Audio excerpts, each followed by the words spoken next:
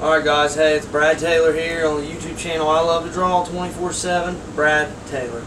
Um, we're working on Anthony's Bar and Grill today, part two of two on the second series of sets. This is one point perspective, do's and don'ts.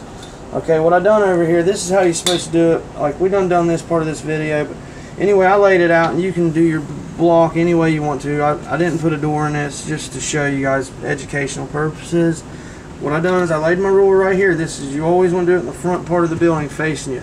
And I laid it out and I done it every half a centimeter. I put a line on this side, a line on this side. And then what you do is you lay your ruler down through here and then you'd line up every single one of those lines all the way across, all the way up the page. And then after you do that, that's how you come over here on this side. The side part of your building, you line up the very edge of it back to your vanishing point, remember, from the edge of the block all the way over on each one. Then you just move your ruler up each time and, and it lines up perfectly. Don't, you don't want to start out on this side like this.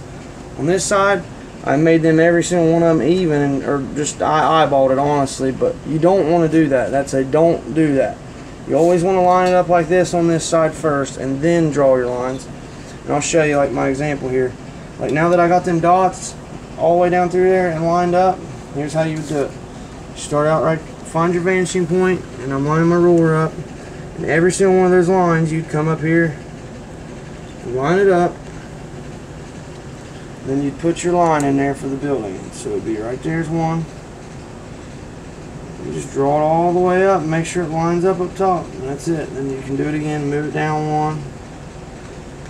And if I don't know if you followed along from the uh, first video or not, but if you have, then you can just keep following right on along with us here with our thing. If not, go back through and watch the videos that we done posted before last month on how to do this and you can create a city with us. This is a very simple way and a very effective way to draw a city and make it look realistic and very good. Isn't that right, Anthony? That's right. Anthony's drawn a couple cities himself. I taught him in five minutes. Now, this one ain't perfect. I'm just trying to rush through it, just trying to teach you guys, you know, as you can see, the lines get they're wider up here and skinnier down here, and everything's going to the vanishing point. Like I said, you don't want to do this over here at first. You want to start on the front of your building. Okay, now one more thing. Over here we done this last video. We worked on this, and uh, I, I can finish in lines out. It's the same concept. Start at your vanishing point, go right there, line it up, try to get it lined up right in the center of your vanishing point each time. Then you just draw your line straight across trying to do these videos short enough where y'all can kind of get the concept without having to take all day to do it for you. Okay and give you decent content in a decent amount a short amount of time. But every one of these you skip every other one. So I'm gonna draw straight up and down line. One skip one. One skip one. Up skip one. Up skip it. Up skip it. Up sure you get the hint there. Okay, now let's go to the next side there. Try to evenly space it, straight up and down lines. Make sure that's the key point. So, since we've done that one on this side, you go to the next one down and go one, skip that one, one, skip it, one, skip, one. And then I'm sure you guys are getting the hint there, uh, everybody is. And now look, it looks like perfectly laid block on your building and it'll be a beautiful building.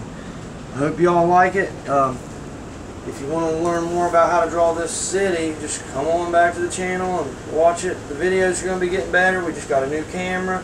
Anthony's probably blocking the mic again on this video. I hope not. But our videos will start getting better, everybody. So like, subscribe, and comment. If you've got any suggestions on how we should change our videos, stuff to do to make them better, let us know. But like I said, I just got a new vlogging camera. We're going to start using it very soon. And I'm about to buy another camera. So the channel will get better. So, peace.